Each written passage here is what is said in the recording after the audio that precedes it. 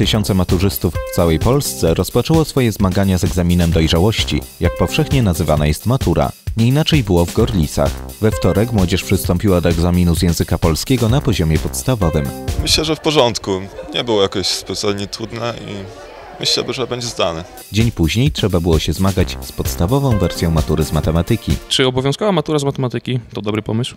Ja sądzę, że tak, bo matematyka w życiu jest konieczną i myślę, że właśnie podjęcie decyzji o obowiązkowej maturze z matematyki to dobra, dobra, e, dobre działanie. W Zespole Szkół Ekonomicznych w Gorlicach pojawiliśmy się tuż przed punktem kulminacyjnym. Na korytarzach panowała gorączkowa atmosfera. Dało się wyczuć napięcie.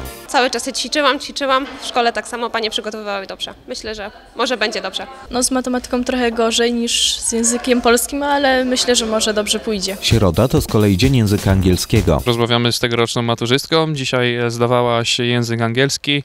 How do you feel? I'm fine, thanks. Okej. Y, Teraz może po polsku. Jak się czujesz? Y, Czy był stres? Y, Czy dobrze ci poszło? Nie, stresu już nie było. Najbardziej się y, stresuje człowiek chyba przed polskim i, i matmą. Tutaj już proste. Myślałam, że będzie trudniej.